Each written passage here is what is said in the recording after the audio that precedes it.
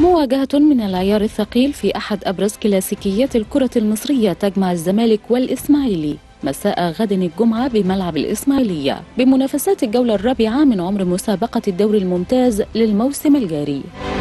الفرنسي باتريس كارتيرون المدير الفني للزمالك لا يعرف إلا الانتصار على الدراويش خلال مشواره داخل القلعة البيضاء. فمن بين ثلاث مواجهات جمعت الطرفين نجح الديك الفرنسي في قيادة الفارس الأبيض للانتصار.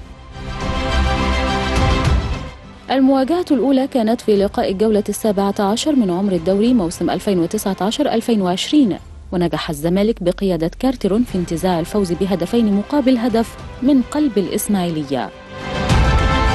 وفي ثمن نهائي كأس مصر بالموسم المنصرم قاد الفرنسي فريق الكرة بالزمالك للفوز مجددا في الإسماعيلية بهدف نظيف سجله أشرف بن شرقي وتأهل به الفريق لربع نهائي المسابقة التي لم تكتمل منافساتها.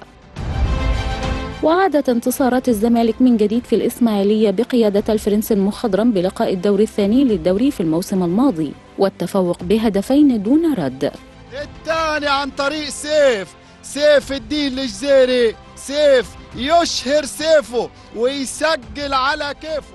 وبعيدا عن رحلة كارترون في الزمالك واجه الفرنسي فريق الإسماعيلي في ثلاث مناسبات أخرى خلال مشواره مع وادي دجلة والأهلي وفاز في واحدة وخسر أخرى وتعادل في مرة وحيدة.